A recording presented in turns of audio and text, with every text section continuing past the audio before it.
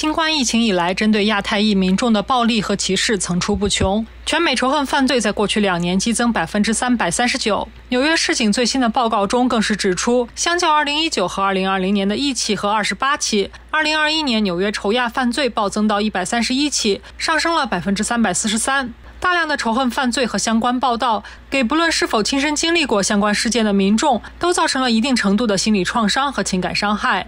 周一，位于华人聚居区的法拉盛医院宣布启动社区健康项目 Bravo，帮助仇亚暴力和种族歧视的受害者从创伤中恢复。直接的受害者，他们有一些症状，比如说焦虑啊、忧郁啊、不能睡觉啊，啊，觉得自己很差劲啊，对不对？觉得啊，自信心一点都没有啊，就是这样子的话。他们就是要有这个必要进行啊啊辅导，对不对？那也有些情况说，哎，你不是直接的受害者，但是呢，你是在旁边看到了啊，那也会有一些症状，也会影响到日常的生活。那有些是在家里整天看电视，这个电视新闻老是播这些，也会受到影响。在忙碌的日常生活中，要如何察觉自己是否有心理创伤，并且需要专业帮助？陈琴医生建议可以通过观察自己的生活规律是否被打乱来判断。比如说，你家人受到了这样子的伤害以后，你自己也睡不着觉了，胃口也变了，变得焦虑了，情绪也不稳了，啊，变得害怕了，啊，这一方面说，哎，我平时以前不是这样子的，我现在出门都不敢出了。啊，那就肯定是影响到你的日常生活了。啊，上班的时候都怕了，坐地铁都不敢了。啊，这些就是呃，表明你可能是需要啊帮助了。我们要帮他们把这些症状去掉。啊，要帮他们恢复睡眠。啊，胃口要开始，你不能说一下子收拾吧，不行，对吧？要吃饭睡觉，然后有了认知以后，也要学怎么样来应对，对不对？然后最后的。啊，目标是恢复你正常的生活。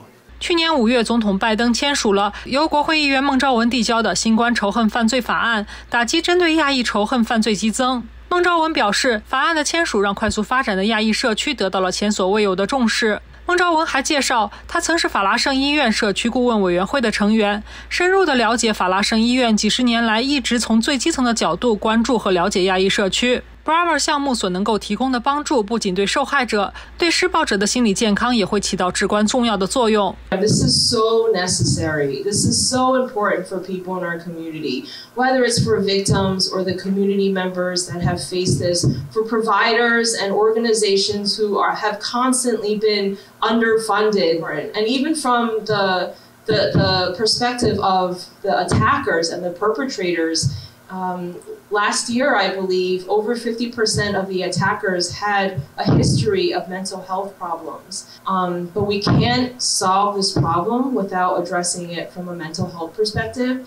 陈琴医生介绍，Bravo 项目不仅有普通的预约热线，更有纽约市唯一的二十四小时危机介入服务电话，会在两小时内应对紧急情况的发生。这一项目还将会提供包括国语、粤语、韩语等多语言服务。陈医生呼吁华人民众在察觉受到影响后，应引起重视，积极寻求帮助。如果你的家人或者你自己有这方面的受害的经历的话，如果你觉得哇，我也有这几点。